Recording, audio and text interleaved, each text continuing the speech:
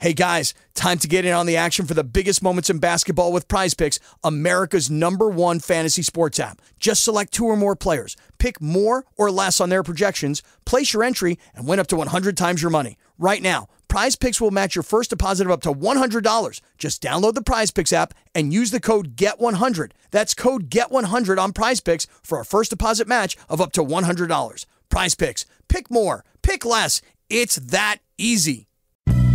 The following production is part of the We Be Geeks podcast collective.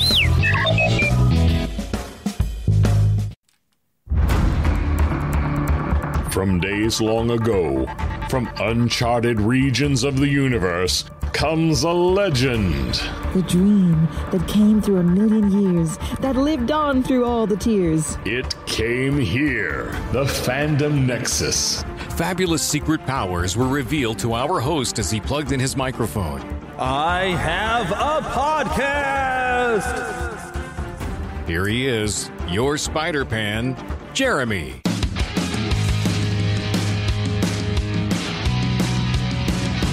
Yes, indeedy, I'm here. I'm here again for more fun and excitement. And if those of you who are Patreon subscribers are getting to watch some video, and I even did some fun stuff in the intro for the video just to give it give you some worthwhile fun.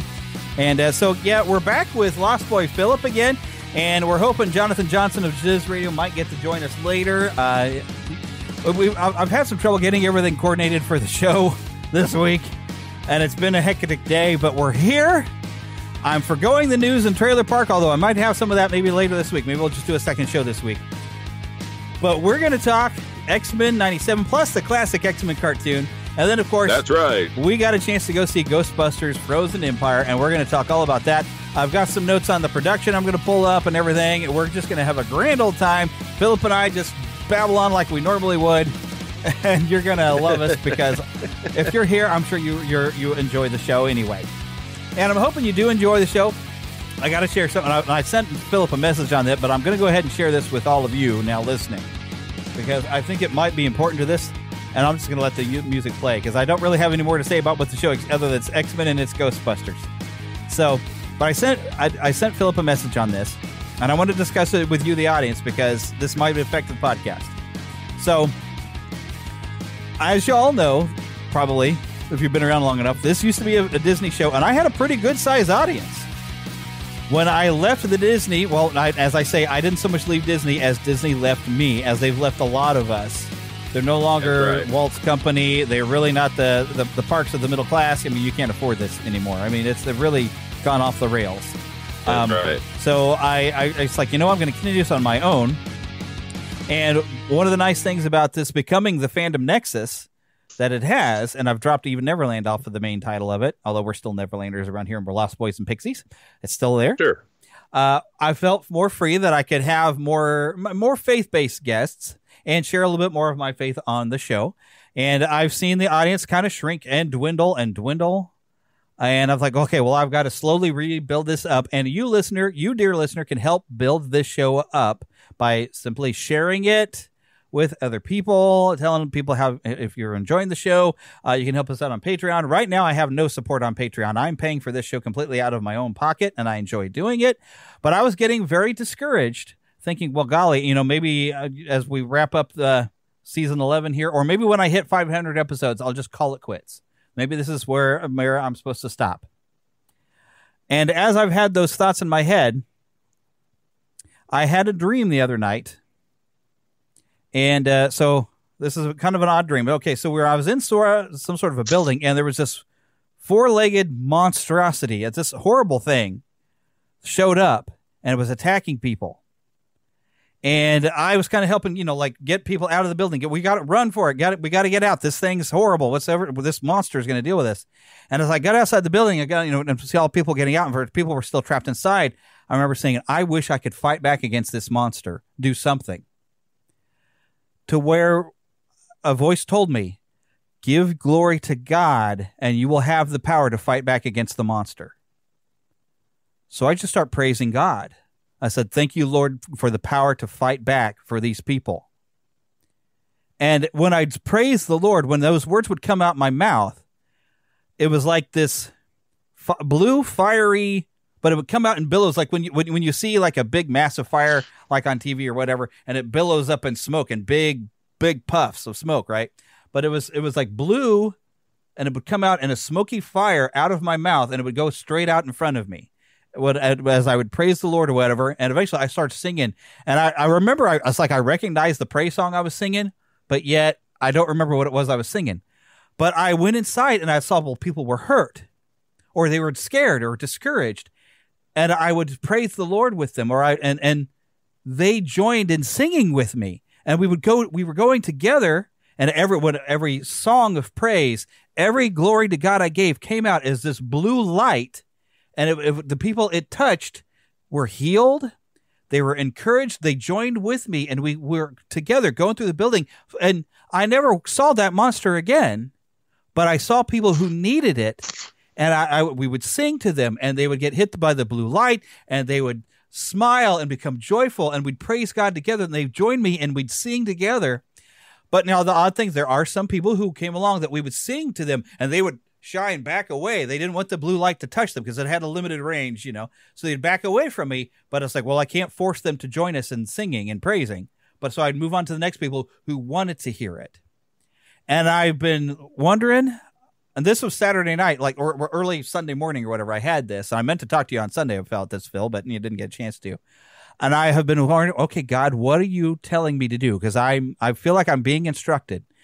And what's really laid on my heart, because you know, I was feeling very discouraged about keeping this show going, and I, I kind of think that, and I'm going to pray about this more, but I kind of think that maybe my voice is going out in this podcast, and I want to be an encouragement to people but maybe I need to give more praise to God on this and focus more, even make this more of a faith show, faith based show that it has been.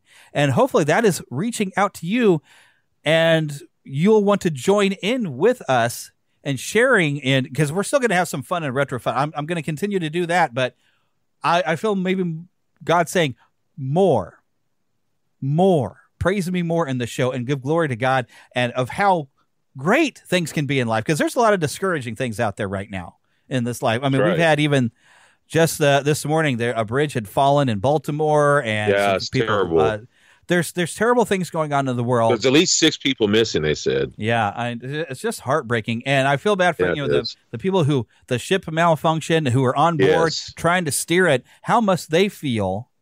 Oh, crashing! Sure. Oh my goodness! I mean, there's there's that, that, bridge has been around a long time yeah. too. But there's there's so much bad in the world that I, you know, you, you if you can praise God in the darkness, you can praise God anywhere, right? Amen. Know? Amen. But Amen. the praise to God and sharing of Him is sharing a light and a fire into the world that warms people and encourages people and gives them courage. And I'm thinking, well, maybe that's what I'm supposed to be doing is bringing you encouragement and courage to, and and joy out into the world. Now, there's going to be a case of we're going to come across something, but we're going to give her a bad review. But find a way to bring the joy and go ahead and I'll share more faith, I think, in this show. Yeah. Uh, than what we previously have done. I, I think it should become more of a focus. I think that's what God is maybe telling me to do. And maybe we reach more people, and maybe that means more people join with me. And I would love to hear from more people who listen to the show, sending emails. Uh, I get to interact with a few people on Facebook. Uh, and you know, por- people who want to partner in with me, that's one of the things. Like, you know, I don't have the Patreon support. I really don't. I'm paying it out of pocket. There are ways that you can support the show, and that would be like you coming alongside with me and joining me and singing the song uh, of praise to the Lord. And we just thank God that yeah. we have things to be thankful for and maybe that's part of my problem. I'm not thankful enough, and I, I got to think how thankful what all I've gotten to do, and uh, I'm in the eleventh year that I've been doing this. All the wonderful, fun things I've gotten to do, the people I've gotten to meet. I mean, I got to have a nice sit down with Katie Leigh at Planet Comic Con, which was there awesome. Because uh, you know, like my favorite radio show, Adventures in Odyssey. That even though we discovered it, I was awesome. college age. I think when we showed the cartoon to the kids, and yep. then I found out, oh my gosh, there's a radio show and that's got got me loving radio drama to where I started checking out the library old shows from the 40s and the 30s, I guess even. So uh, doing this has really had a great impact on my life, and it has changed my life entirely. I mean, the career I'm at now is started because of this, and maybe I'm just not thankful done, enough and appreciating it. Well, I'd say your show is about fun, film, family, and faith. And That's what your show is. yeah. Well, well, that well, that's fun. That's fun. That's film, fun. family, and faith. Yeah. Yeah, because family time. Well, at least when I was a kid, family time we used to do on Saturday nights. My father, we would sometimes go out to the movies. Sometimes we go out to arcades and other things. Uh, but we that be family time. Sometimes be sitting around in the living room, all of us watching a Disney show, or Mm-hmm. uh, so that's why you can still talk about old classic Disney. I call Yeah. it, whether it be Pollyanna or whatever. And uh, so Pollyanna. we used to. Oh, well, we I got to remedy that. We used to have years. we'll, we'll do- get to it. Uh oh, I, I feel like we're Yeah. there. We go. We lost signal of you for a second there. I think All right. your video's glitchy. Okay. But- yeah, yeah, fun, faith, family, and having a good time. I mean, I mean, and heck, my family is three cats and a wife, and then of course Phil. Phil is honor- honorary family. I call his mother my my second mom. So I don't know if even if uh, like you can hear it in the recording from last week's show. I referred to Katie Leigh as like almost like a third mom because she has been voices and stuff I've watched since I was a kid that were my formative shows. Gummi Bears, Muppet Babies. She has she she referred on her website. She refers herself as the voice of your childhood, and she ain't kidding around. She has been the voice of my childhood. She did in her own weird way of voicing these characters helped raise me. So I I, I kind of referred to her as like a third mom. I don't know if she caught me saying it, but in a way, I was watching something been. yesterday, or maybe it was two days ago now.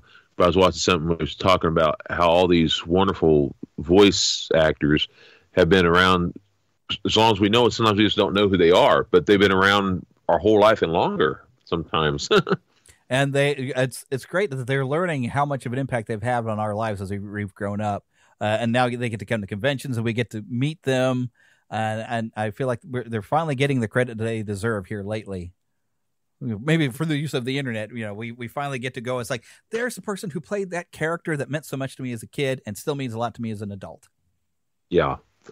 so it does mean Yeah. a lot. So, but I just wanted to share that with all of you, the audience, that things may change around here and hopefully get a little better. And if you like what we're doing, please share this uh, with your friends. That's one way that you can really kind of come alongside and sing praise to God basically with me is share, share, share, share with a bunch of people. Let's rebuild this show and let's bless people with it. That's going to be my goal. And I'm going to try my best because I think that's what God wants me to do is I have a voice here, and just consider this blue light, blue fire coming at your speakers or coming into your earbuds, however you're listening, and hopefully giving you some encouragement. And uh, let's just be let's learn to be thankful together and praise the Lord for what we have, even in those times we don't feel like we have it. And heck, I've even had I- I'm not supposed to talk about some of the stuff that I've had some. not- Let's just say I've had some stuff I've struggled with. God has really been blessing my wife and I uh, over over the past week with some surprises of what we didn't know was coming. Uh, that completely surprised, and it was, was was wonderful blessings, and it really has helped us out a lot uh, with things that has been kind of a, a discouragement. So you know, God's taken care of me, and uh, I want to I want to thank Him for that. Definitely. Uh, he's he's basically he shows up. Sometimes he seems it feels like he he waits to the last minute, but he waits. He's a wizard is never late, nor is he early. He was always arrives precisely when he means to. For all you Lord of the Rings fans, God shows up precisely when he means to. And there it is. Right. But yeah, so let's talk some X Men now, because and I'm I'm sure we've shared this before, but it's worth sharing. The when this original series, because I what did it start like ninety three? 90 92 well, I, I, Halloween. Uh, They they aired it. Yeah, it ran for like I- five seasons. So yeah, ninety two. Yeah, Alan too. When when and I remember coming over to your house Mhm. on a Halloween morning, Yep. and were- we watched. we were gonna have some you, fun You that day. recorded it. I was watching it. Oh my goodness, what a great day! That was one of my favorite days. Yeah, sitting there watching that premiere episode. I had stopped trick or treating, and uh, Sure your did. mother had went out and bought us. your your mother who went out and bought us uh, some uh, Batman Returns candy, and uh, and I was she was so sweet, and uh, we and I of course brought my big two liter of Diet Mountain Dew. Yep. And I remember, I remember that we were so excited. So we, I had dressed up with this Halloween outfit and all. And what happened was, not a whole lot of people came. We had like a haunted yard or whatever, Yeah. and not yeah. a whole lot of people came. So what we ended up doing was, I went out and w- grabbed my pillowcase, and w- we decided to go trick or treating that night. Yeah, we did. we got, and we I drive a pillowcase, and we've got. I mean that neighborhood was giving out full size candy bars, two or three sometimes. And That it was a nice much neighborhood fun. to trick or treat. It was the. But I remember that when we saw that, I already liked the X Men because I remember seeing the. um Maybe it wasn't Hanna Barbera, but I remember Hanna Barbera showed it some of their cartoons around that time. Yeah. It was like Sun, whatever they call yeah, it. it was part of like uh, Marvel Action Hour and stuff they would do. Yeah. yeah. Where so they had, I when you had saw back it. with Marvel Animation that used to work with and doing GI Joe and stuff like that. Yeah, so you had a lot yeah, of same it- it was- voices. it was like not Sunbow. What, what was it called? It was like something like that. It had that sun. It would go around and like Sunbow or something like that. And I can't remember the name of the studio. I'm sorry, I can't Yeah, remember. but no, this was the But- Marvel, the old Marvel Animation Studios that had brought you Yeah. Spider-Man and His Amazing Friends. They Yes. animated GI Joe, Yeah. Transformers. I remember it so well, Yes. and and I remember and I enjoyed it. I so Then that was, of course, The- we're the talking first- Pryde of the X Men. There, yes, that's it. Yeah. That's it. And I remember watching that, and I already liked them because they had toys around that same time that Yes. kind of looked similar from the Secret Wars or whatever. yeah, the Toy Biz and- toy line. I was I was so foolish though. I say foolish, ignorant. I didn't know a lot about Wolverine. I'd Mm. seen his pictures at this place we used to go to called Pack Rat, and uh, Paperback Rat. yeah, actually. paperback rack. and I- used to buy your comics. and I used to, and I saw posters of Wolverine. I just fell in love with the character because he looked so cool. But I thought because the way the toy was, you could take the claws off, Mm. and I thought, well, maybe his claws could go on his feet. Oh. so I, but I was wrong, of course. yeah, uh, I so I saw the cartoon. I realized who who it was and what he did, and and but man, when that cartoon came on that Halloween, and we you recorded it and we watched it again and again and again and again, and it was only one part. yeah. The first it part of was Night of Sentinels. So we watched it like I think you recorded it on a video you already had or whatever. We watched it again and again, and Yeah, I and then I missed the second episode, and I didn't get it recorded, so I had to I borrow. recorded it. I had to borrow from your VHS, and I put mine back in order, and yeah, Yes, and, we would do that every week. Like for like three seasons. I, I we did I- that with with X Men and Spider-Man. Batman for years. Spider Man. Mhm. Yes, But I had. I, course, fell I in love Spider-Man. with I fell in love with with Gambit because I had never I didn't know who he was. In fact, I collect I started collecting the X Men, the comic book, and I still have the first issue that Gambit ever showed up in. Oh and, yeah, um, that's valuable now if you take good care. Yeah, I have that, and uh, and it's I got that when I was in you know I was in high school. I was a a, a junior, and uh, I, I love X Men. So my very favorite is Gambit, and I love Cyclops and Oh. Wolverine, and and I gotta be honest. Uh, one thing I loved. Well, I'll get to the new show in a minute with you, Yeah. but I love to see Cyclops being Cyclops again because I haven't seen that in years. Yeah. because of the way they did it in the movies. I feel Yeah, like we've missed it in the out on. Cyclops for years. Yeah. It- Yeah. Look, I love Wolverine, but sometimes there's too much Wolverine, and. I'm not the other characters. Well, the, the the funny part about this, okay, so of course I grew up. You know, we'd watch Spider Man and His Amazing Friends. We were watching Super Friends. Of course, you had Superman movies. Yeah. I remember, you know, the Batman '60s series come on, so I knew some of the Yeah. basics before I started reading any Sure. comics. I remember the first time I saw Wolverine. It was, I think, the fifth grade, and uh, the the guy sitting in front and to the left of me was reading the first solo Wolverine comic, his first limited series. Oh yeah, yeah, and I saw the the artwork where here's this guy. I mean, in the in the era of Freddy Krueger, I believe. Oh, oh yeah, there's yeah. this guy with these blades coming out of his hands, standing on a pile of bodies. And I asked him, "What is this? Some one." kind of a villain guy?" He's like, "That's Wolverine. He's my hero." So I was like, "That's a hero. Heroes aren't supposed to kill." You know, this guy's a cool, he's on a pile of bodies. So, but I didn't know about the Punisher at the time either. So, uh, but like the awesome. second time that I got a good encounter with the X Men was the six player arcade game when I was freshman year in high school. And I was on a bowling league, and they had the six player X Men out in the, the arcade part of it. And I was like, oh, because I'd heard of them. And I knew I'd heard more about I'd heard about the Pryde of the X Men cartoon because everybody was talking about it at school, but I really wasn't familiar with any more than Wolverine. Uh, Yeah. but then seeing all these other characters, I'm like, oh, look, these are kind of cool. And then I think it was that very day, it was a Saturday that uh, my uh, neighbors, you know, that I used to play with and everything, you know, when we were kids, actually had gotten some trading cards of X Men. And we were kind of going through and reading about the characters and all this, like, oh, this is really, really cool. And because I, for most of the time, if I was going to read a comic, I had to borrow it from somebody. I borrowed a lot from Oh, you sure, so I could read stuff because Oh, I yeah. never had spending money for anything. Um, I, until I until I earned my own spending money, and the very first comic I bought was a, an issue of Amazing Spider-Man that was Mark Bagley art, which I now have signed because it was important to me to have that one when Mark Bagley playing came to Planet Comic Con uh, a couple years back. I wanted that one signed. I told him it's like this is the very first comic I bought with my own money, and I loved the artwork on it, and it was your work, and you've been my favorite Spider-Man artist, and so I had him sign it for me. So I have it signed, my very first comic that I bought with my own money. So, but yeah, so I started reading actually the X Men before I'd gotten to see the the animated series. So I was I was familiar with a lot of stuff. I started diving in and but you know just buying and reading X Men. I was mainly X Men and Spider Man, and my my sister had actually gotten me for my birthday a subscription to Uncanny X Men. So I was getting that one. The other the other title, just regular X Men, I had to go and buy on my, my own, and there was a gas station we could walk to that I could get stuff.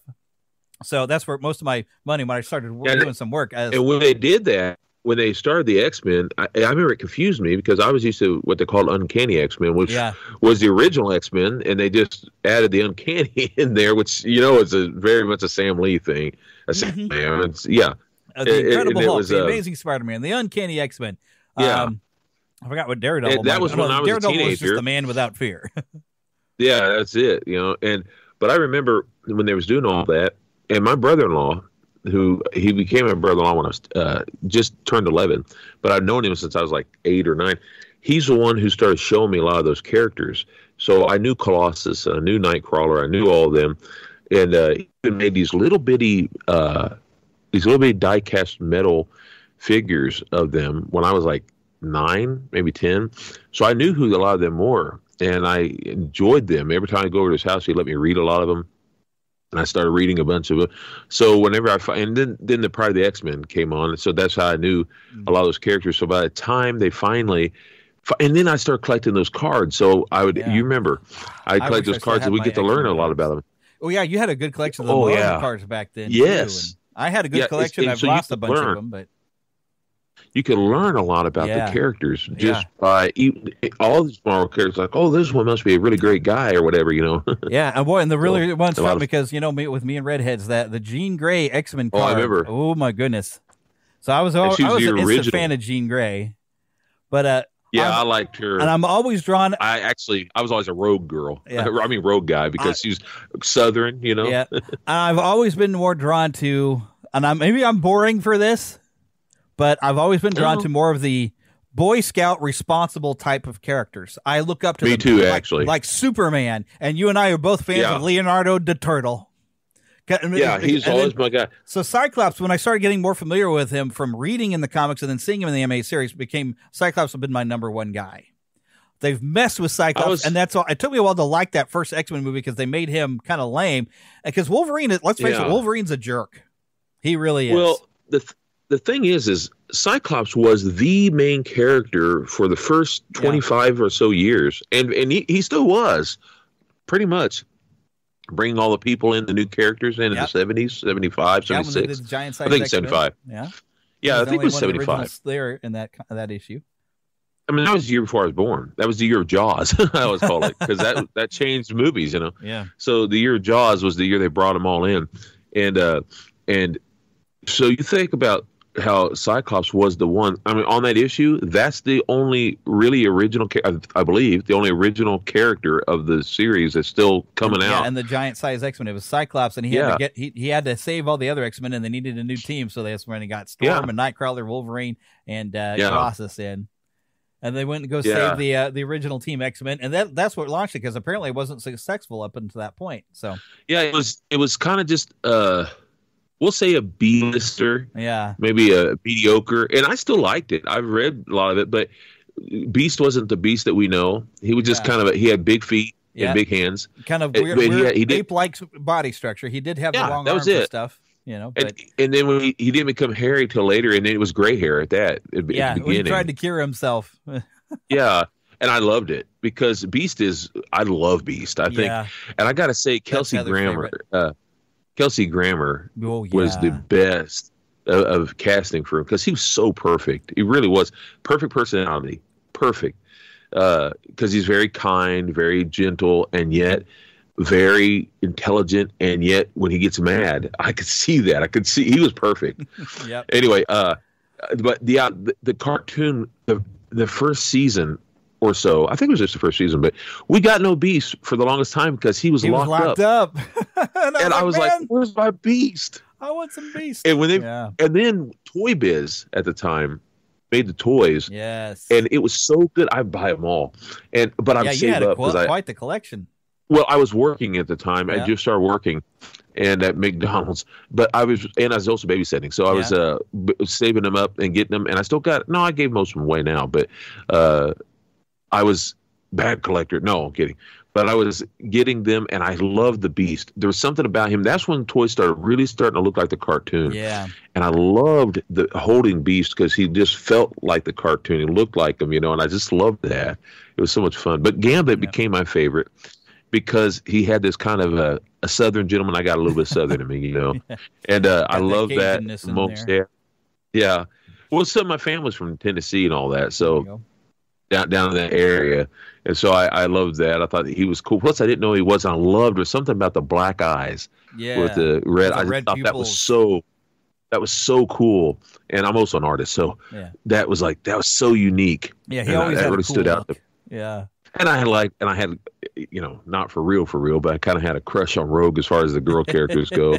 You can she's look, you don't too. touch. Oh, that's right. Exactly. But that, I think that was also kind of the cool thing. I still never understood why they didn't just put a collar on her. So because that, you that know, would make it too easy. And and plus, if you repressed her mutant powers, she probably would have lost all of the other powers though that she needed too. Because having the I'm just borrow talking- from Ms. Marvel taking those away too, then she's useless.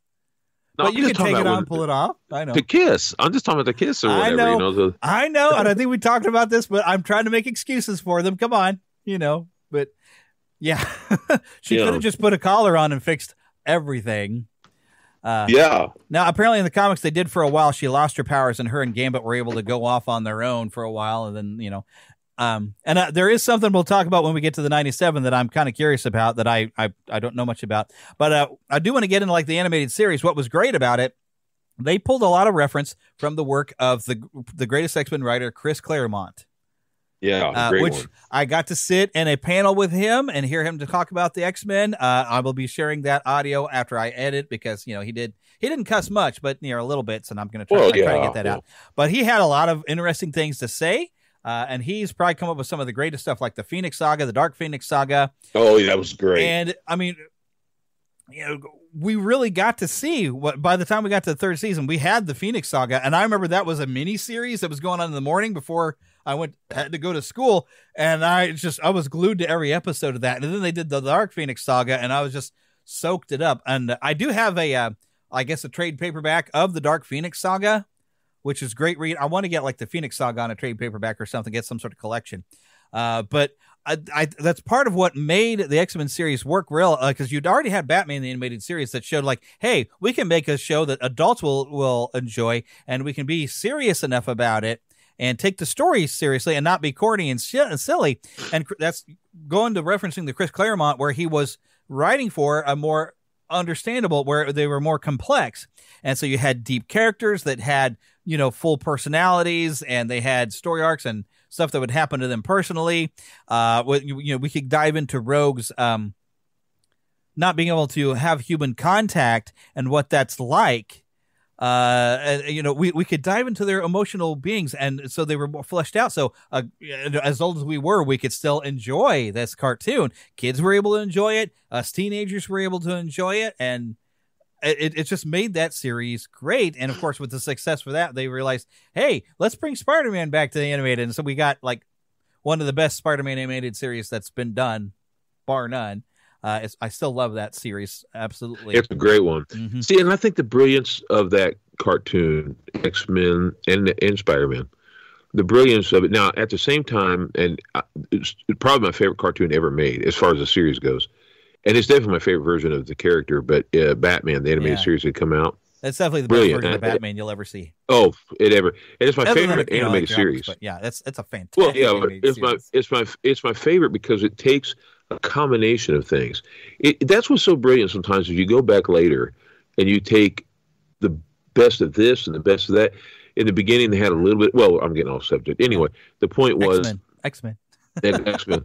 The point was uh, wh- what they did with the X Men and Spider Man was they were able to take stories that worked Mhm. from the comic book and said, okay, we're going to have to. I don't want to use the phrase "dumb it down," but we're going to have to put it into a series. We can't use everything that was in the Yeah. comic.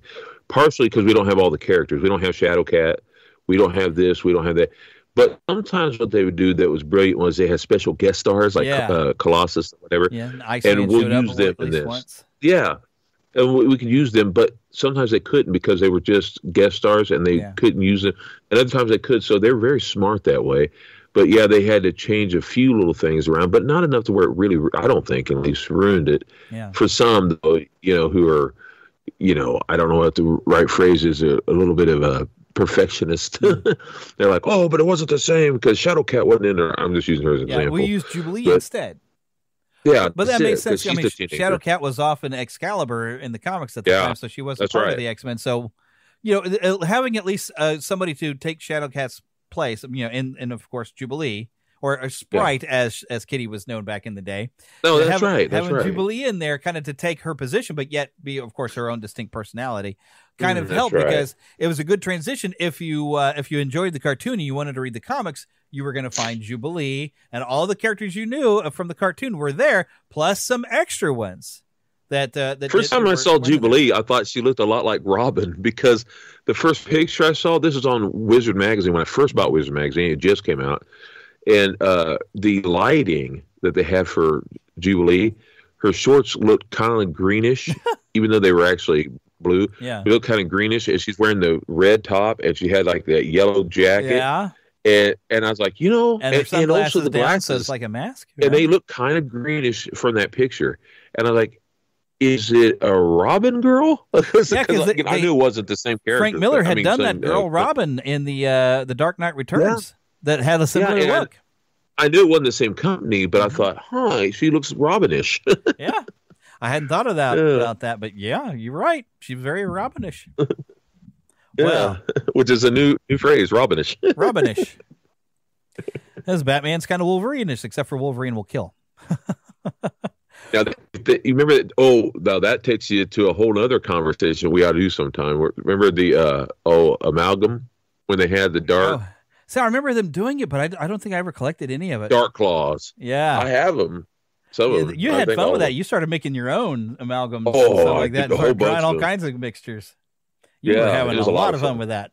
Oh, I had a blast. I had Mhm. Iron Man and Batman together. That was a lot of fun. And that, That actually makes a lot, lot of of sense too Yeah. for a crossover. Oh, yeah, because I thought Rich Man Yep. and Rich Man, you know, and Rich Man, and it was a lot of fun. There you go. I had him. I had him in an Iron Man, Batman type thing. I can't think of the name of it right now. I don't know, it was Iron Wings, I think, or something. But I don't remember what it was. But it was it was a lot of fun. the Iron Bat.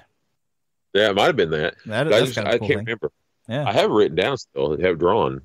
anyway, so yeah, so we really, of course, enjoyed the heck out of that series. Now I, uh, Oh, yeah. I don't think I was watching by the time we got to a fifth season, and I own most of wasn't this on. DVD. I can't find Volume Four, but Volume Five is still available on the uh, the Disney Movie Club, but I can't find Volume Four anywhere. Uh, I don't know if I runt season five because it was a different animation company and the stories weren't as good. yeah. I know enough of what happened to get into X Men '97, uh, where, And where Charles have it on- Xavier uh, On was Disney Plus, don't they? Uh, Isn't it on yeah, Disney? Disney? Plus has got a few episodes out of order, but that's okay. But you can watch it all on Disney Plus. But I like to own physical media. Yeah, myself. me too. You're you're you're nerdy like me. I want I want the entire Spider-Man animated series as a full Yes. nice legal copy. But until then, I have my own methods that I do have the entire series on DVDs that I made myself. But uh, for the longest time, that was the only way I was ever going to watch them again. But now, of course, you you can watch it on on Disney Plus, which I appreciate. So, but so now we get into X Men '97, and we've got well, Charles Yes. Xavier had uh, an, an attempted assassination that made his powers go kind of out of control. Uh, where he's actually was taken away by the Shi'ar to try to take care of it, but they are treating him like he's dead. They don't know that they're ever going to get him back. I suspect we are going to get him back sometime in this new series. I was going to uh, ask.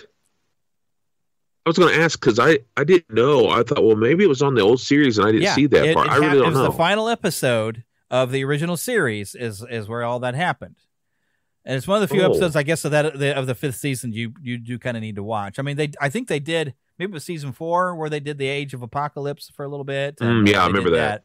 Um, so I mean, that was kind of a big deal. But season five, the only things I remember is that episode, and then also Jubilee getting which actually was based off of a comic, Jubilee getting lost somewhere with a bunch of kids and an earthquake, and they're in caves that they're exploring, and she tells them this fairy tale story with the X Men characters, which is based off of something that actually happened during Chris Claremont's time, except cool. for Kitty Pryde That's doing cool. it. So they did Sure. do that. Um, Hey guys, time to get in on the action for the biggest moments in basketball with Prize Picks, America's number one fantasy sports app. Just select two or more players, pick more or less on their projections, place your entry, and win up to 100 times your money. Right now, Prize Picks will match your first deposit of up to $100. Just download the Prize Picks app and use the code GET100. That's code GET100 on Prize Picks for a first deposit match of up to $100. Prize Picks, pick more, pick less. It's that easy. But with X Men '97, uh, I what I did appreciate is we see some recognizable stories. Uh, now I don't know if they're going to go full on House of M. House of M, I had to I had to look this up. I my remember notes that. back up. Uh, House of M actually had some stuff that had happened in a previous uh, or, or like a different timeline. But what you see Magneto wearing with the big M in the remember it. second episode is the same that you see in House of M. So I, I see them once again. I I had been concerned considering the showrunner uh, is part of the a certain group that has an agenda. We'll put it like that. I I was afraid he was going to insert his agenda far into this series, and I've expressed these concerns before, and we weren't going to get good stories. Uh, but they're still pulling story material from the comics, so we see a little bit of House of M. Uh, we're we're seeing a little, and I don't want to spoil anything. I'm hoping you all have seen these two episodes, or you're kind of th- thinking about whether you're going to watch it. We're going to have bits of Inferno and Madelyne Pryor, the Goblin Queen. Uh, apparently, that we're Oh. we're working that storyline in here as well. So they're still pulling from Chris Claremont. So we're going to get some good X Men stories from what we're what we're seeing. The only bit that I did see, and this was some people had concerns on this, that Morph, uh, they made it where his regular face is featureless, and the ending credits. Uh, like they're trying to rep- replicate the ending credits we really didn't get to see when it, when it was being shown on Fox Kids. But if you're watching Disney Plus, the end credits had where they had like a 3D version of each character, and it would go and say and list their powers, you know, and they would all Yeah. pull up. And they did a version of that for the ending, and you will note that Morph is their powers. He's he's they them'd, and he's pronouned. Oh, Uh, that so far is the only thing where I see an agenda probably being worked in because they did talk about Morph. They decided was going to be um, kind of gender fluid because he's whatever he turns himself into instead of the fact that he was born male and he just kind of shifts his form, but he was still born a male. But this is kind of the new thing they've done in even the X Men comics because the comics are now way off in, a, in an agenda Yeah. that Stan Lee had never actually intended. And I have learned, I mean, I think I did talk about like there was a, a racism element going on that during the 60s it kind of fit with that. But i have seen interviews where stan lee said he never really intentioned that. He just wanted to he ran out of ideas for people to have their powers. And he thought well what if they were just born with it? And he just kind of went from there. So he didn't really intend for everything especially what's going on now uh, it has been taken over by certain groups with their agenda and they're they're relating it and they've changed what the x-men are and chris claremont even lamented that death means nothing now in X Men because if you die, they have machines on Genosha that just bring you right back and r- make you a new body. So it means nothing. And Chris Claremont even said, like, I'm the guy who killed Jean Grey, and I meant for her to stay that way. So it's he, Wow. he's, he's lamented what they've done in a lot of other ways with the characters, but this, of course, uh, this X Men '97, and I was like, okay, I want to be fair. Uh, and I, I will say I did enjoy both of those episodes they released last week, and I'm looking forward to see what they do next week. But what or this week on Wednesday they'll release another episode. But I am worried sometimes when they pull that nostalgia of a show we used to like or some sort of franchise that we have liked when we were kids, and they bring it back. They'll give you a couple episodes, and you're like, "Oh, hey, those were good." And then that third episode is wham! Here's the agenda that uh, Yeah. I'm sorry, as a man of God, I cannot get behind that agenda. Yeah. I mean, God loves everybody, but he does. You don't stay the same. I'm not the same person I was after my encounter with Christ. He's changed Amen. me, and and you can love someone, and not have to agree with them either. right, I don't have to agree with you, but that doesn't mean I don't love you. And uh, Right. because I got, you know, I got sin in my life, you got sin in your life, whoever you are, you got your own sin, and I won't agree with your sin. But if you're making that your main thing, I'm going to say, man, you're you're going, you're you don't realize it, but you're in a path to destruction, and God loves you enough to get you out of it. if you give him a Yeah. chance. He transforms people. But okay, but that's you know besides the point. But I you know I'm allowed. I feel like I get to say that kind of thing because as what I was saying earlier. But overall, I That's will say I did enjoy these episodes, and I got excited at the, the the stories that they're bringing up. But one thing that and we kind of almost got it there with Rogue, it seems she can touch Magneto without a problem. So I'm I'm Yeah. wondering. Now, Magneto has always bragged about electricity and magne- magnetism being related, and so electricity doesn't have an effect on him. So Storm can strike him with lightning, and he don't care. And I wonder if Rogue's powers are somehow, in a weird way, because it's energy based. She feeds electricity, but maybe that or, not. Well, I just use electricity, but I was meaning to t- say electricity. But because of that energy basis, I wonder if that's like electrical in her own way, to where that's why she's not having an effect on Magneto. And I'm looking to see where this goes because in the in the comics in the 90s, the when they other than Uncanny when they started the regular X-Men line with Jim Lee's brilliant art, that was kind of a Mhm. thing that Magneto has at times tried to live up to Xavier's dream and tried to fight for it. He's kind of gone back and forth. But he and Rogue did strike up a pretty good friendship. And she did kind of care about him. We don't know to what extent I mean, is going to happen in the animated series.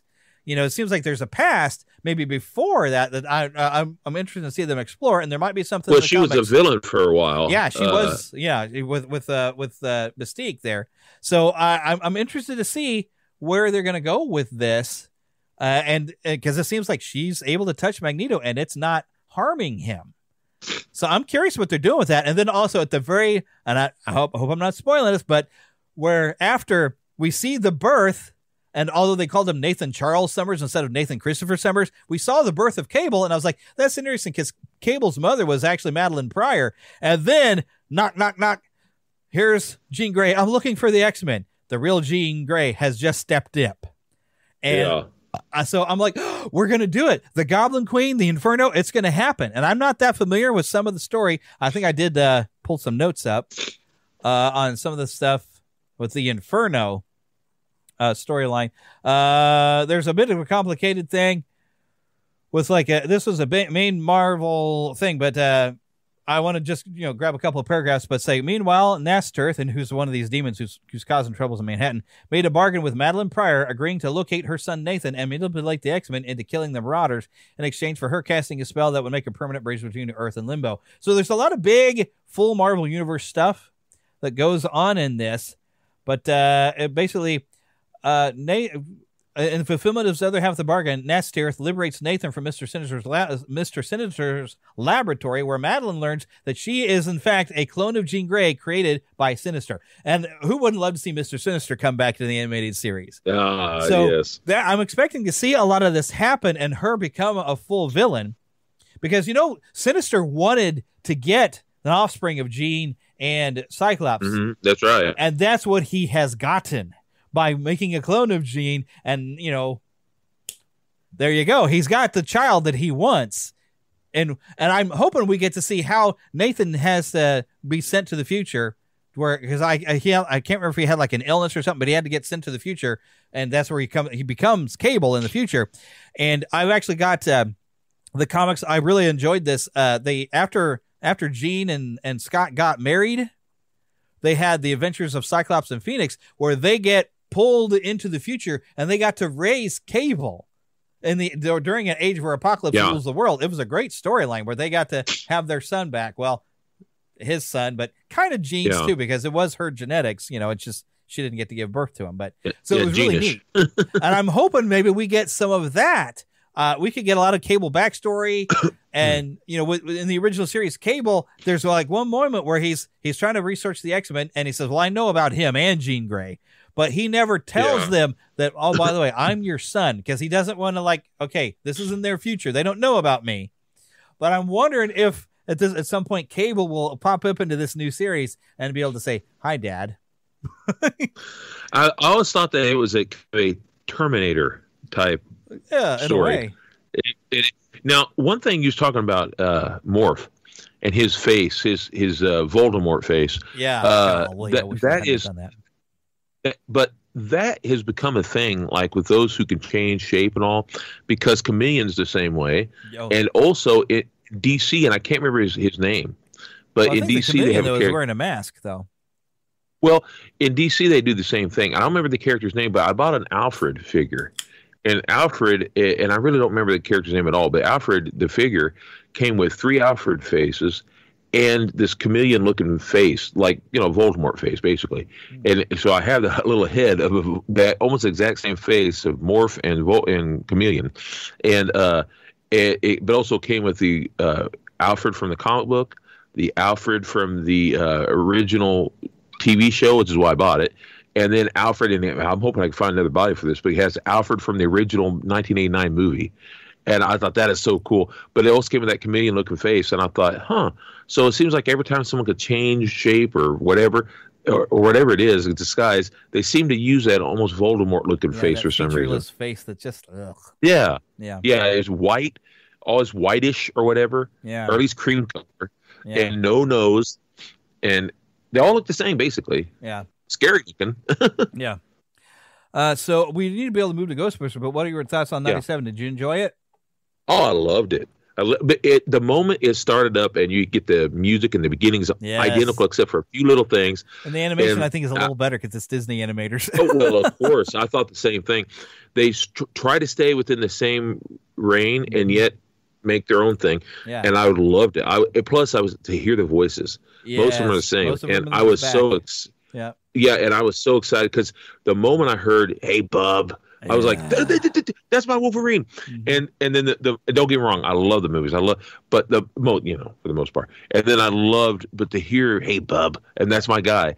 And then and then hearing "Hey, I'm uh, Shadi," and I'm like, "There's my guy." You know, even the the goofy, dorky looking stuff where he's wearing the little half shirt and all that stuff. I'm like, that's still that's the guy. You know Yeah. and then and then Cyclops was very heroic. I'm like, that's the Oh, Cyclops I love. Had a fantastic opening scene where Cyclops comes in and starts whooping the fire out of some friends of humanity.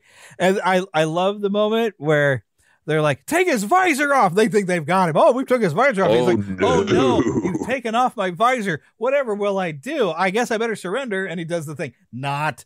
And just opens his Yeah. eyes like a boom. I was like, It was- yes. It was so classic because Oh. the, the thing about the old show is when I watch it, it's sometimes a little cringy at times. It, I love it, but it's sometimes cringy whenever like Rogue yells. It's sometimes overboard. Yeah. but they kind of had no it, it, the old cartoons the, it is overboard but they kind of they're trying to sell the drama of Yeah. it you know it's almost soap opera at times You- but you it's the way it is overboard with animation though to get it across in your voice though.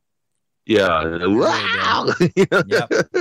The one thing I'm still I waiting. loved to- it. I'm waiting for an answer for why Bishop is there because he usually time travels Yeah. back and forth for a reason, and having him a regular part of the X Men is great. I love that idea, but I would like to know, like, okay, well, what? Why did he come back for, and why is he staying? I want that story. That sounds like a good And story. I, I, love the little things that they changed and yet we're still the same ish Yeah. like I, I liked how uh, storm had a mohawk yet yeah, the 'cause way they did it look story coming because yeah like because she didn't really in, in the in the 80s when she got the mohawk and she changed her outfits because she had lost her Mhm. powers so with She the wore the mohawk i was like the- well that's kind of a different look that's the look she had when she started just wearing all black and she wasn't wearing the capes because she had lost her powers so she then, had like a sleeveless shirt yeah yeah so now that she's lost her powers i'm like oh i see we're going that way yeah we are yeah so i'm excited to see where because I, I can't remember how she got her powers back i've read some of the issues where she lost her powers and she had to deal with that but yeah i don't remember how she got her powers back so i'm, I I'm don't. I don't remember either. I'm hoping by the end of the season she'll be back full force because I love her. She's got the coolest powers. I mean, come on, she I, controls. and I weather. loved hearing. I loved hearing the voice. Yes, Hearing and the her voice, dramatic you know. cheesy lightning she- shall purify she- your anger. She always reminds me. You know, she always reminds me of a little bit. She always reminds me just a little bit of Uhura uh, from Star Trek. Because the way she would say stuff, she goes, "Back to your place, Mister." And I'm like, "Oh man, they always me just a little bit." You back to your post. Yeah. Yeah, it's true. It's true. It's true. Oh my goodness. I hadn't thought of that, but I always loved her cheesy Lou. Uh, the storm mistress of the elements commands you to release her. yeah. Oh, she had some of the greatest Very delivery. theatric. But, and, but it Yeah, made sense because this is somebody who in Africa was being revered as a goddess. So a little bit of that has Yeah. affected her personality. Yeah, but she's got some of the coolest powers. It doesn't make sense for her to have that power, but it's still cool. Like I said, Wolverine. Oh man, the moment I, I heard him, hey, and I love when Gambit, because you know Gambit's my guy, he's my Yeah. favorite. When Gambit jumps on his back and his claws are, Yeah. are glowing pink, I'm like, yay! Although, okay, the, my problem I had with that, and Heather and I had a discussion of that. When Gambit charges something, it explodes. So how can he charge I know. with the skeleton and then and this, Wolverine I doesn't thought the explode? same thing. It's like, did they not look at how his powers work? He charges know, it with a kinetic explosive energy for crying out loud. Come on. I mean, yeah, it looks cool, but it doesn't make a lick bit of sense. So I actually thought that was stupid. As much as it looked cool, I Did was you like, know? I was like, did you all do your research? He charges it up, he throws it, it's kinetic, it gets the kinetic energy, it makes it fling out there, and then it explodes upon impact. Oh, oh well. No, I don't know. But I anyways- cool though. When there's something strange in your neighborhood, like you know, charging up Wolverine's claws, who you gonna call? you have no answer for that. Ghostbusters. yeah, there we go. I had to turn the corner because uh, you know, trying to keep this an hour long show. We've only got Sure. about ten minutes left. I'm looking at my Ghostbuster collection over there. Yes, indeed. And I actually have half of my Ghostbuster collection. Well, actually, more than half of my Ghostbusters collection is some of your leftovers that you've given me. So, Oh, sure. and then of course, no, I guess I have a little bit more because I have bought like Behind you. I've got my real Ghostbusters, but then I've also bought. So I have eight figures I bought on my own and eight figures that you gave me. So yes, you've literally half of my collection is from you, and the other ones are stuff I bought on my own that you can. Well, you can kind of see that on camera, my real Ghostbusters, Mhm. and then when they made those other ones to be more like the movie style, but yet cartoony like the real Ghostbusters, which I had to get those. I love those figures; they're really great. Those are great. figures. So we got a chance to see, not at the same time. We got we, we didn't No, get to go yeah. together. I went. with- I brought my sister and my wife along. We got to see Frozen Empire, and uh, yeah, with that night, and I've seen it twice now because I took my nephew. Yeah. We had a good time. and had fun both times. I'm sure. Oh, yeah, I did. In fact, I went ahead the other night. I, I got that little Stay Puft dude, you know. that you- they have this little Stay Puft. I got the last one at the theater, at least. Yeah, I And it told was you you the, had to uh, get one because I bought Yeah, one. and and it was very last one. On your shoulders. I should be wearing they, one they right had now. it on display up there, and I said, "You all have any more little Stay Puft?" They said, "Oh, that's the very last one." And I said, uh, "I said, okay, get the." Anyway, my nephew liked it, and so me being the uncle that I am, I said, do, do you like it a lot? He goes, yeah. I said, well, it's yours, and I gave it to because you know, you know how I am. I can't help it. That's the that's the uh, Uncle Santa type, you know. There we go. So those is. of you who are Patreon subscribers that are getting it, and, and it's- a certain tier of Patreon, the ten dollar tier, uh, that gets video, will now see that I have a Stay Puft sitting on my shoulder, or a mini Stay Puft, really. Stay sitting on puff on your shoulder makes you happy. he's magnetic, so you stuff it in your shoulder, and he, he'll sit right there on your shirt. It's fantastic. They're cute. And I had to get it as soon as I saw it because I do love the little mini puffs, and they They're of course have a great appearance in the show. And uh, and I I thought it was funny. Uh, it was a good story. It was, Yeah, I it loved it, yeah. Scary monsters. I love what they've done with Winston. I don't want to spoil too much for Me those who haven't seen it yet. Oh, sure. it made like forty something million here I in the, in the that, states. man. Uh, I mean, it's a lot of people went to go see this uh, because Afterlife was a good movie, and this was a good. Now the criticisms I see, and I'm going to address these, and I, Sure. one of them I kind of agree with. Uh, Dave Cullen, who's this Irish guy who does really, I think, really good reviews on YouTube. He he he was bored, and he said part of it is some of the humor style is is missing or different. a- And that there's not that weird playfulness and charm that the original cast had, but I think part of it is this this is written by different people other than Dan Aykroyd and Harold Ramis, and Harold Ramis has a certain style of humor that comes across in every movie where he's written on, like even on Groundhog Day, and there is a certain playfulness to his humor, and his Yeah. style is missing from the humor of these last two movies. Not to say that these movies don't have some funny and No, some no, good and humor, good. but it, it, it really doesn't feel the same. So I have to agree with him on that. But I still enjoyed it, and I still laughed, especially at the uh, the mini puffs. I love the mini puffs uh, Yeah, and their slapstickness. Uh, the other major criticism, and this is uh, almost the elephant in the room. And my wife and I have both said like we were concerned that, and I this might be almost a little spoilery, but Phoebe makes a friend who is a ghost. And she was worried, like, I hope they're not going to imply that there's more to this than the, just a friendship. And after seeing some interviews with a, a, a teenager interviewing uh, McKenna Grace, I think that's her name, uh, who plays Phoebe, it's like, oh, I just love the crush that Phoebe has on this ghost. And there are people who, on both sides of it, whether they think it's a, a woke thing and it's bad or or the people who are encouraging it who are trying to imply that there's some sort of romanticness between her and this ghost, but there's nothing in the movie to me that really implied anything romantic. It just seemed No. like a unusual friendship with a, a young human girl who's kind of awkward and has a hard time making friends, but she can kind of relate because she's going through some growing pains. And I like that Phoebe did have a growth uh, in- in- in her character because you see her, you know, at 15 hitting that rebellious bit of teenagers, and you don't want to listen to your parents and all this stuff. But by the end, even though she's called her mother by her first name, she at the end it's Ooh. mama, it's mother, mom again. She grew Yeah. and she learned that her parents are watching out for her, and maybe she can listen to them. Uh, so she does have a character arc that I did appreciate, and part of it is making mistakes along the way with her new friend, and she and but she finds that she can relate to this 16 year old girl ghost because of the the awkwardness of their situation and being about the same age, they can kind of relate. And I saw that as a friendship, but I, but when when it started up, I was like, I have a bad feeling this friendship is going to be somehow bad for with the villain Yeah. involved. And I was right. I don't want to say too, much because I don't want to spoil the movie. I want to be very careful.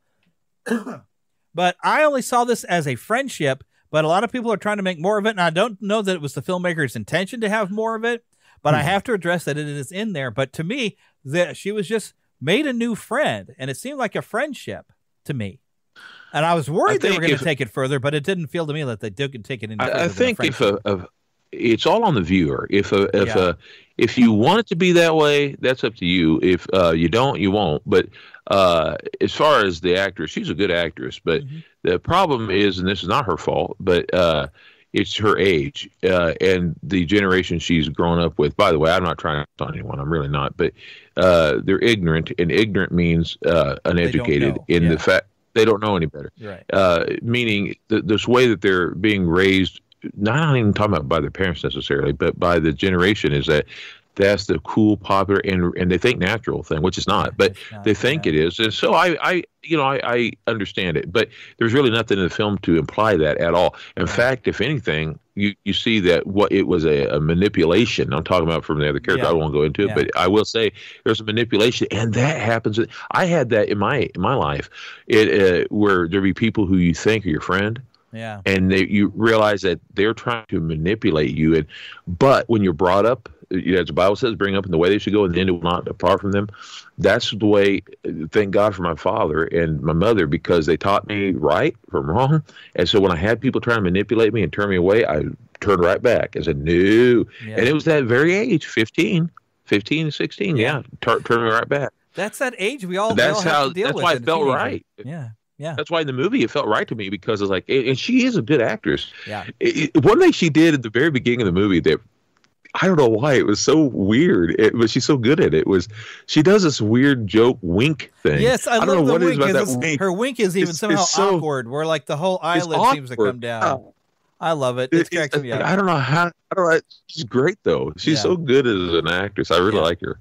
Because that's one other criticism. They said like, oh, they just completely didn't like Phoebe because she was just odd, and they were afraid she was turning a girl boss. Like, no, she wasn't. She was being a 15 year old girl, but she learns a lesson. And she's lovable. Yeah, and Yeah, she's lovable. I think probably what helped is I watched Afterlife again the night before, and you Yeah. know, loved learned to love Phoebe and all the other new characters. Other well, podcast is kind of annoying in the first one. I don't like his equipment because being in podcasting for eleven years, I know his equipment is not accurate for what anybody uses. He's Yeah. got film equipment, not podcasting. I need to watch equipment. that movie again. But But uh, even getting without watching the movie again- Phoebe, I was prepared for Phoebe, and I already was. They had already endured themselves again to me, so I was like, "Oh, that's Phoebe." But I was like, "Ooh, wow, she got a rebellious streak." But I was like, "She's 15. That makes sense. She's going to be that way." But I love the I love the growth that even Paul Rudd's character, Mr. Grooberson, gets because he's learning to try to be. Uh, they they don't really say if they you know if he's married and he's their real stepfather. I don't think that he's supposed to be, but I don't think he they're is. married yet. Yeah, but he's trying to just he's trying to be the father dating. figure and he has a moment where he's he's got to quit being their friend and be a father and i love when he Yeah. he steps up has to be a father and then she goes over to the mother goes over to him is like i know it hurts doesn't it Yeah, and i was like i understand that it's because awful. you can't be their friend and sometimes you have to put your foot down and I mean, and and, uh, yeah, I, I've, I've never raised a kid, but I've been around kids and I've had to put my foot down. And you love the kids, like, yeah, I hate to have to do this, but I have to be the authority because I've driven a school bus, you know. But you have to be the authority figure, and the kids need that. And that as they get older, they will appreciate you for putting that authority because what are you doing with that authority? As they were talking in the movie, and even what he has to tell her. So you realize everything we're doing is because we're trying to protect you. And uh, and and it's you know I'm trying not to be spoilery again, but when Phoebe has that realization that they're there for and when Phoebe's coming back and she's she's figured out what it's going to take to defeat the monster, she's still kind of struggling with it, and then her mother comes alongside and helps her. And the way she kind of wraps her arm, kind of like the way Grandpa Egon does with, with that moment when the mother comes along and helps her. I was like, there it is. I mean, that's I, I it's like it teaches like teaching ch- the teenagers. Your parents are there for you. They love you. They're looking out for you, and they are going to help you and support you. And I, I loved it, and I felt like there was a lot of good character growth, and that's what movies need: good character growth, good I love- stories. Scary monsters is a good thing that they get to fight, but What Ah. what I loved too was it was to me.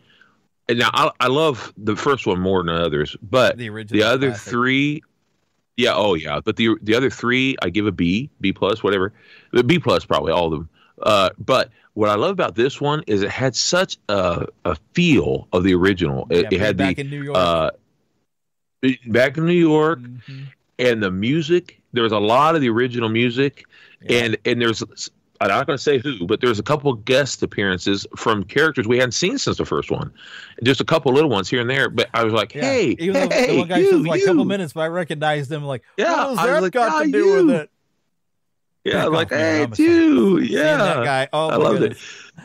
Yes. It was it's so much fun, and it was just oh, I loved it. Yeah. The uh, like I said, it made me feel like I was a kid again, seeing Mm-hmm. it, and uh, I was like, oh, that's great, and Mhm. I don't know, it was just so much fun. I, I enjoyed it.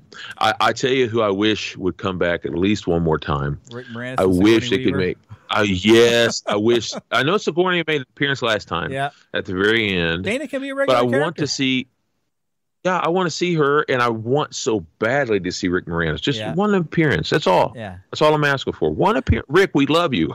I wanted to see if Louis Tully had actually had married yes, uh, Janine. You know how that relationship Yeah. ended up. that would have been I fun. wanted to see it. I wanted I- to see it. Maybe next time. I love, I love Louis. I love Louis. Because oh, if you stayed for a, there's a mid credit scene.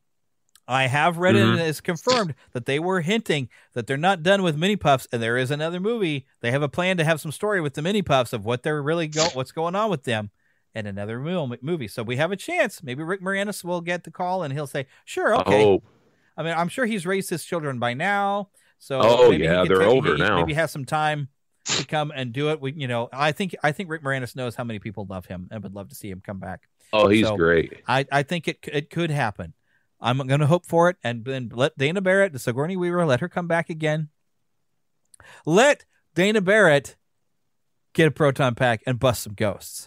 You know, it'd be really great too, because I like that there's a lot of Ghostbusters in this. The characters we've seen at the at some, I don't know if you want to call it an academy or whatever, but was really would be really great. Peter's son, not his son, but stepson, or whatever it was. Uh, Sigourney Weaver's, you right, know, uh, Oscar. Oscar. Where's Oscar? I love to. See, I would love to see Oscar. That'd be a great. yeah, thing. instead of the weird British guy, which I mean, I liked him okay. If that had been Oh, Oscar, was that'd have been awesome. I You mean, know who I liked that character, but Oscar should have come back. Yes. you now don't get me wrong. I, I'm not talking about the, the English accent, but look wise, he reminded me of the cartoon version of Egon. Yes, he did. Oh, big time. Oh, Yeah. big time. And maybe that was real intentional. serious.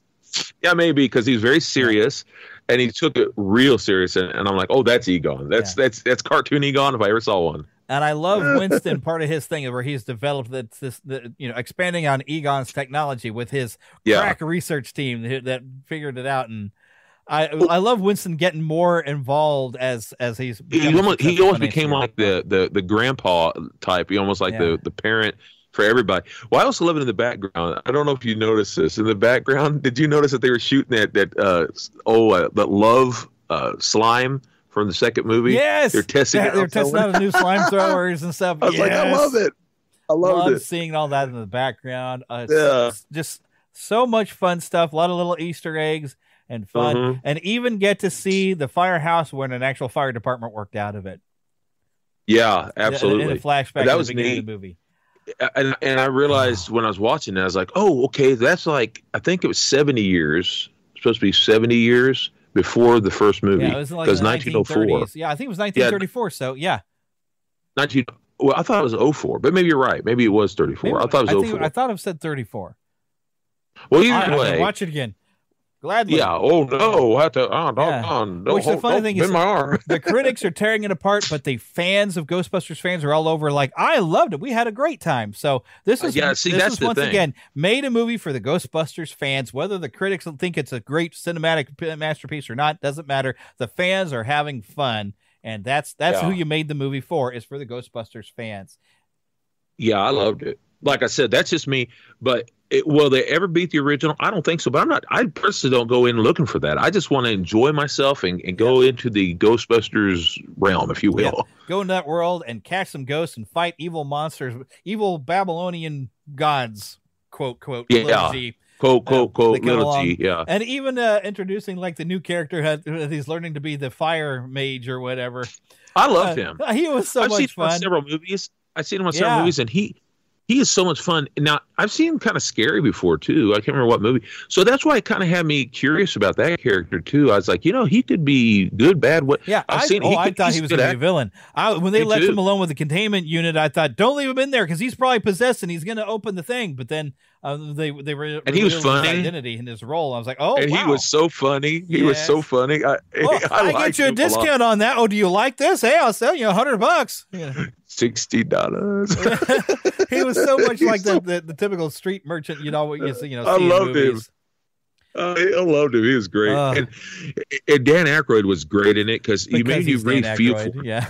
And he is. But you know what's funny? And I don't mean this as a disrespect. 'cause I really love. Him, but the older he gets, the more and more he's starting to look like a conehead. like the. Uh, I'm talking about his old self from Santa Alive. We've run over an hour though, so I'm Oh, going to go ahead and wrap this up. But yeah, we definitely give both of these a recommendation. Hopefully, the third episode of X Men is just as good as the first two, and hopefully, the next Thumbs up. Ghostbusters film is just as much fun as this one was. Yes. But of course, we want to. Rem- I I haven't. I haven't plugged anything. So, but, but hey, go to NeverlandPodcast.com. You'll find a big W logo. Click on that. Get yourself some energy drink powders. Uh, will not give you the jitters for gamers. Also, you'll find links for pod Podgagement if you have a podcast. This will help you get your reviews. Clicking in there and making purchases does help me out. I do get a little bit of that.